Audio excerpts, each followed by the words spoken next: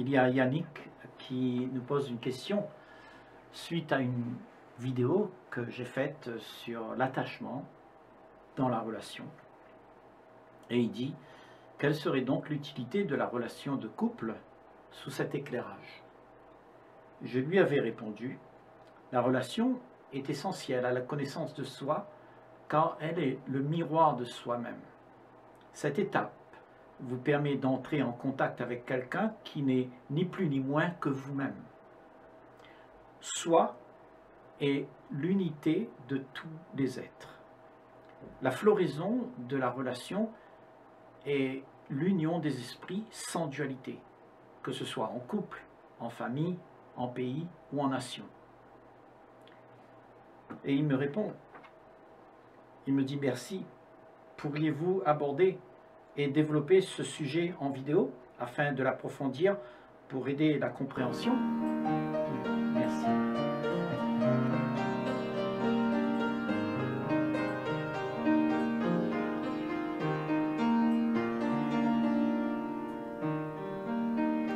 On va, on va essayer de faire ça.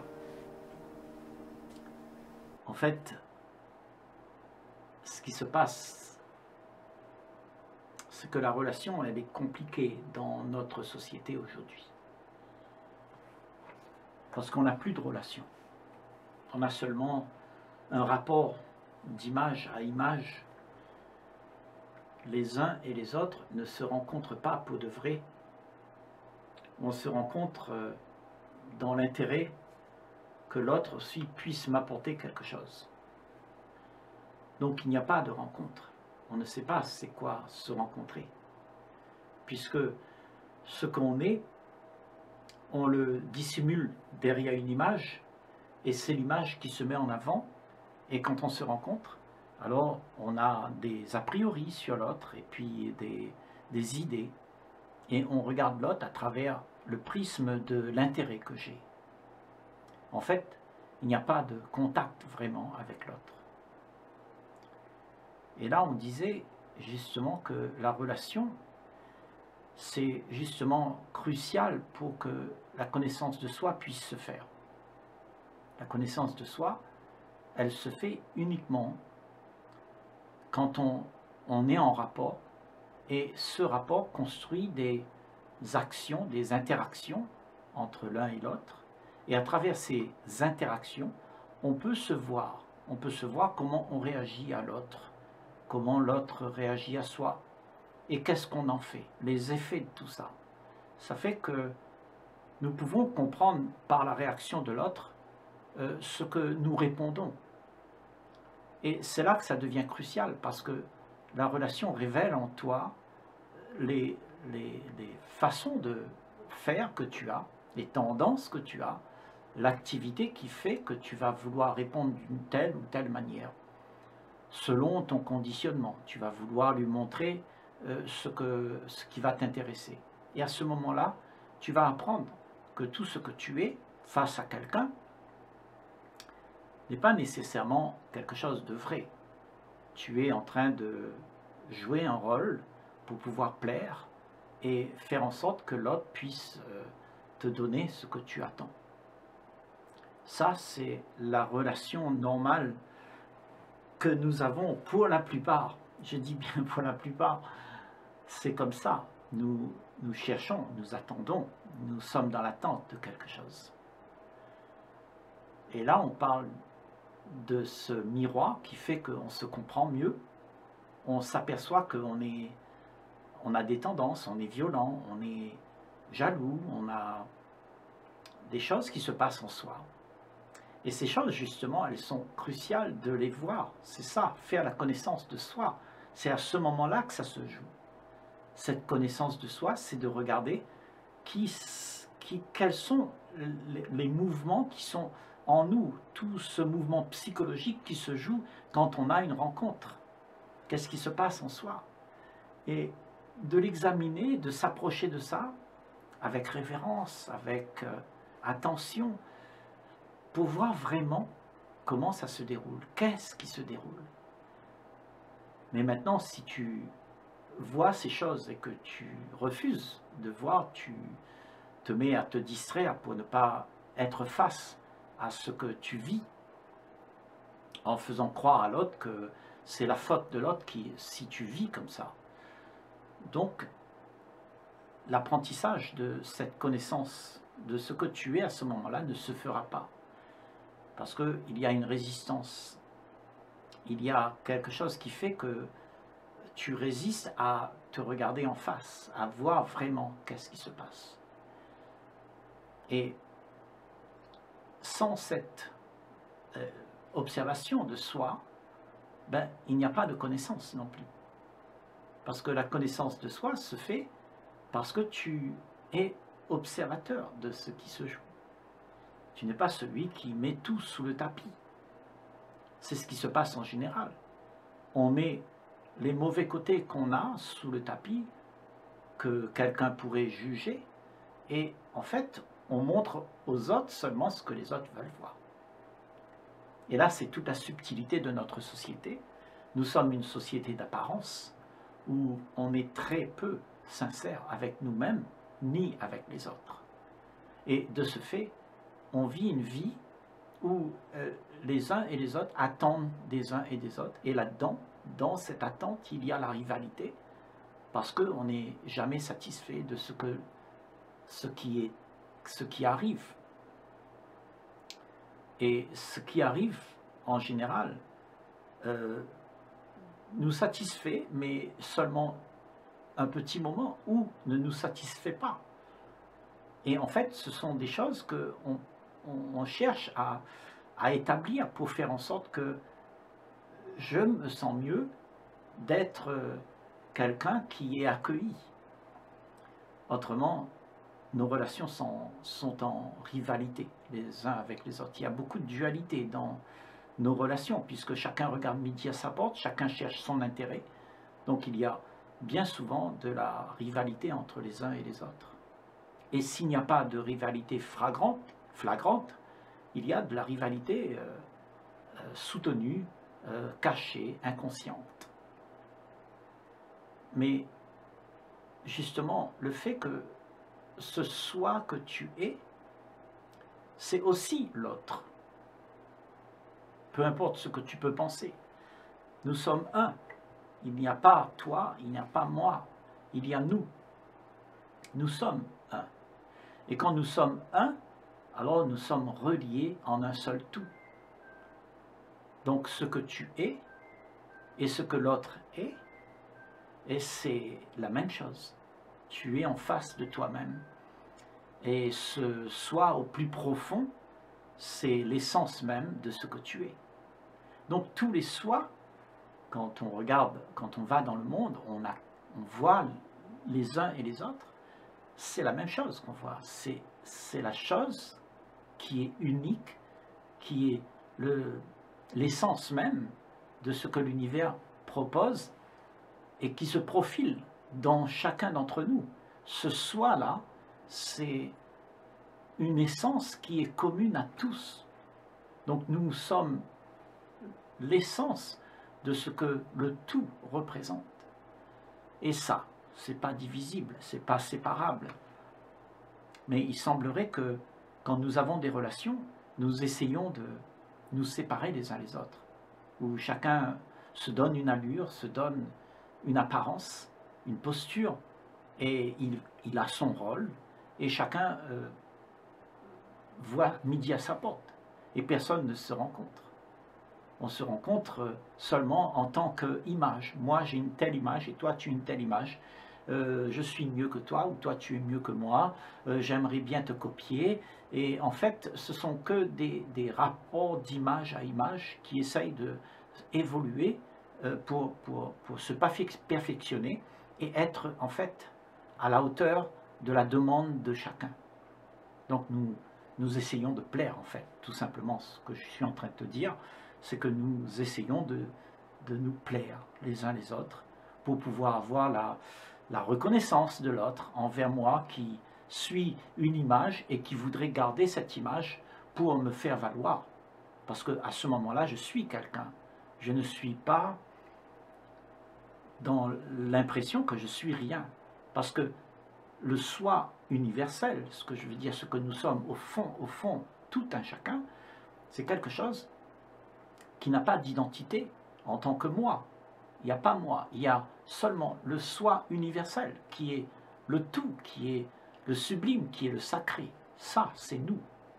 Et en fait, nous sommes tous issus de cette information qui vient de rien. Ce soi, ça vient de rien et ça s'exprime dans la matière. La matière qui est ton corps, qui est euh, tes, tes sentiments, tes peurs, tes angoisses, ça s'exprime là-dedans. Maintenant, si ce soi vient s'exprimer dans tout ça et qui s'identifie à tout ça, alors ce sera un soi qui sera transformé par ce que la matière propose. C'est-à-dire, la matière, c'est quelque chose à laquelle on s'attache. Et quand on s'attache à ça, on devient dépendant.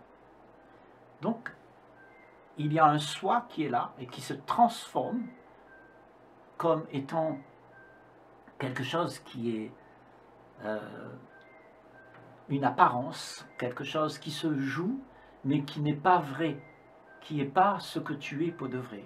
Ce que tu, tu es pour de vrai, c'est le rien. C'est cette immensité de l'éternité qui n'a pas de commencement, qui n'a pas de fin. Il y a un seul tout. Et ça, quand tu rencontres les uns et les autres, si tu sais te libérer de ce que tu aimerais être, de ce que tu voudrais faire, de ce que tu voudrais montrer, de toute l'apparence que tu as, de tout ce que tu sais, alors il peut y avoir un contact. Et ça, c'est la récompense d'une relation où tu te démantèles de ce que tu n'es pas. Et quand tu te démantèles de ce que tu n'es pas, tu rencontres le vrai.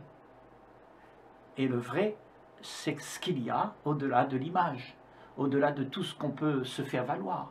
Donc quand on ne se fait plus valoir, quand on ne veut plus rien, quand on n'attend plus rien de qui que ce soit, ben, il y a un contact. Et ce contact, c'est le contact avec soi-même. Tu rencontres toi-même en face de toi, dans la relation. Et la relation, elle est faite à ce moment-là d'une union où il n'y a plus de rivalité parce qu'il y a un sol commun, une information commune qui est là. Il n'y a plus toutes les histoires qu'on se raconte être. C'est-à-dire la pensée n'est plus là, il n'y a plus la pensée. Il y a juste ce qui est. Et ce qui est ne spécule pas. C'est la réalité de ce qui se passe. Et la réalité, c'est la seule réalité qui existe ailleurs, c'est que tout ce qui existe, c'est rien. Ça vient du rien. Et rien, c'est la seule chose qui peut exister. Quand il y a quelque chose, c'est de l'illusion. Parce que ça commence et ça finit. C'est toujours de l'illusion, les choses, les objets, euh, les idées, les croyances. Euh, tout ça, ce sont des choses qui arrivent, mais qui repartent tout de suite. Et donc, si tu te bases là-dessus, si tu t'identifies à ça, tu ne seras plus ce rien. Oh, c'est ce rien que tu es. Et quand tu es rien, alors il n'y a plus de problème. Mais quand tu te donnes d'être quelqu'un, il y a plein de problèmes. Parce que tous euh, les quelqu'un qui veut devenir, eh bien, ils sont en rivalité. Parce que tout le monde n'est pas d'accord et tout le monde veut avoir raison. Donc, pour que la relation puisse être dans, à son honneur, à son plus haut sommet, c'est de pouvoir disparaître en tant que moi et arriver dans une relation en tant que rien et pouvoir rencontrer le rien en face de toi qui est toi-même. Donc, les têtes vidées de toutes les pensées. Quand il n'y a plus de pensée, quand il n'y a plus ce que je veux, ce que j'attends, ce que j'aimerais, tout ce que je désire, quand il n'y a plus cette effervescence, alors il y a un calme absolu. Et dans ce calme-là réside justement ce silence. Ce silence où est accueilli le rien. Parce que rien a besoin d'un vide pour exister. Autrement, si tu es occupé, ce vide est occupé avec toutes sortes de choses pour te faire valoir de l'apparence de ce que tu voudrais être pour pouvoir exister, alors ce vide sera rempli de déjà, déjà de quelque chose. Et il ne peut pas y avoir l'essence de ce que tu es pour de vrai. Donc, ce que tu es pour de vrai est très fragile et il a besoin du silence. Du silence qui est sacré, justement. Et pour trouver ce silence, il faut que tu trouves, tu comprennes qu'est-ce que tu es. Et ça, ça se passe dans toute la relation. La relation t'apprend à comprendre que ce qui se passe là-dedans, c'est un tas d'histoires, de, d'envie, de, de, de désir. Et quand tu fais silence à tout ça, il n'y a plus tout ça, il y a un calme. L'esprit n'est plus embobiné par toutes ces choses que tu désires, que tu veux faire, que tu veux accomplir. À ce moment-là, il y a une rencontre avec le sacré. En fait, en toi, il y a de l'harmonie, tu es silencieux, et dans ce silence vient s'exprimer le sacré, ce que tu es pour de vrai. C'est-à-dire ce soi universel. Elle prend corps dans ton, corps, elle, et elle, et elle, elle s'exerce. Et elle se propage, elle se manifeste, elle met l'ambiance où en fait il y a de l'humanité, il y a, il y a un tout qui se forme et qui est harmonieux, qui n'est pas en rivalité. Parce que c'est seule la pensée, quand il y a la pensée qui rentre là-dedans, dans ce silence, dans ce, cet ordre parfait, qu'il n'y a plus la beauté.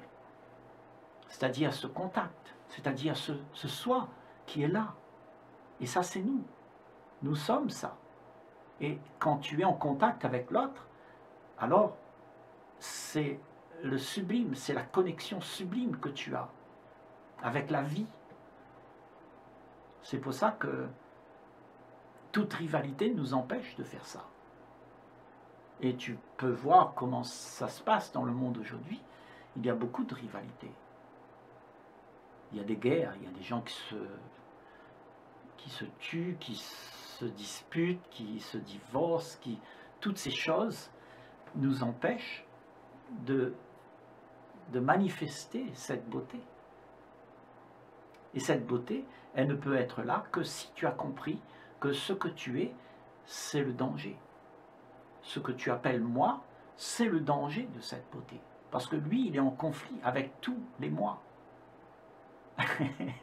c'est pour ça que la relation se fait quand il y a silence, quand il n'y a plus personne qui veut, quand il y a un havre où tout le monde s'accueille, même si ça ne te plaît pas, tout est accueilli, tout est accepter.